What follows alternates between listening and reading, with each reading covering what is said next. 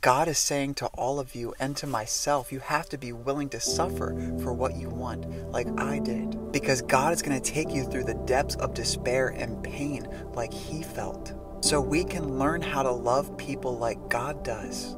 This is part of the co laboring and sharing in the sufferings of God. But it won't always be that deep, there will be a lot of highs too. Life is never just low, but God will take us very low before He takes us very high. He's doing this in part because He wants you to have compassion and empathy for the unsaved, so you can best reflect His heart to people in a real way so they can feel and experience what it's like to be loved by God here on earth. This call isn't for the faint of heart, but God has promised to be with you even until the end of the age. So keep your chin up and be ready to give an account for your faith and the gospel of grace.